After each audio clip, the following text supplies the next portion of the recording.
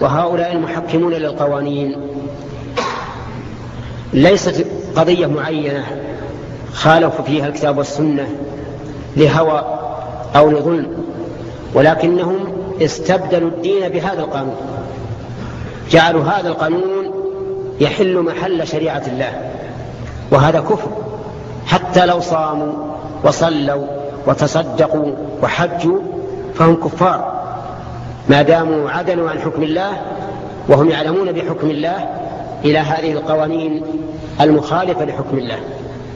فلا وربك لا يؤمنون حتى يحكموك فيما شجر بينهم ثم لا يجدوا في أنفسهم حرجا مما قضيت ويسلموا تسليما.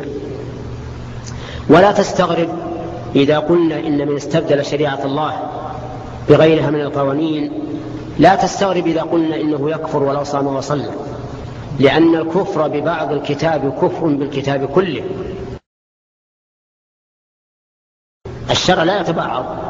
إما أن تؤمن به جميعا وإما أن تكفر به جميعا.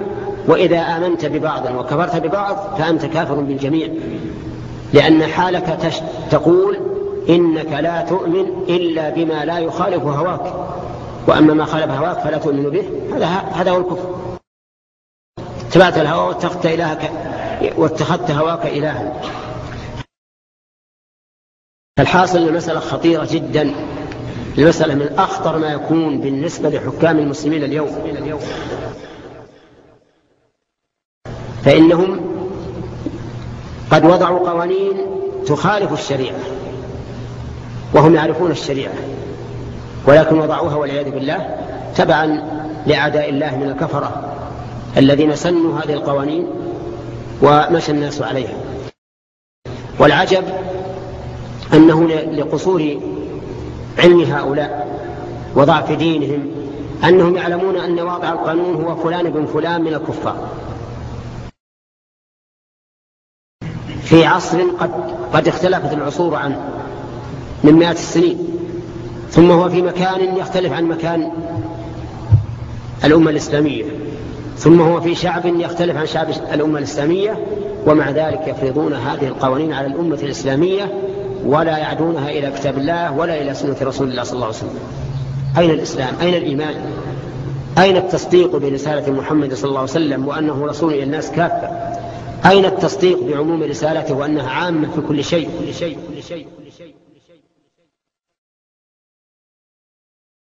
كثير من الجهلة يظنون أن الشريعة خاصة في العبادة التي بينك وبين الله عز وجل فقط أو في الأحوال الشخصية من نكاح وميراث وشبه ولكنهم أخطأوا في هذا الظن.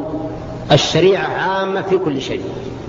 وإذا شئت أن يتبين لك هذا فاسأل ما هي أطول آية في كتاب الله. سيقول لك أطول آية. آية الدين. يا أيها الذين آمنوا إذا تداينتم كلها في المعاملات.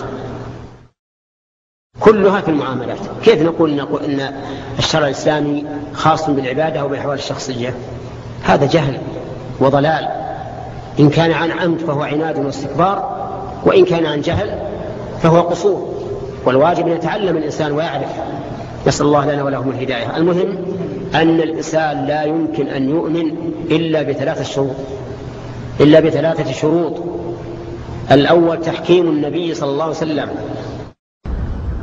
والثاني أن لا يجد في صدره حرج ولا يضيق صدره بما قضى به الرسول عليه الصلاة والسلام. والثالث أن يسلم تسليما إنقاذ قيادا تاما. فبهذه الشروط الثلاثة يكون مؤمنا.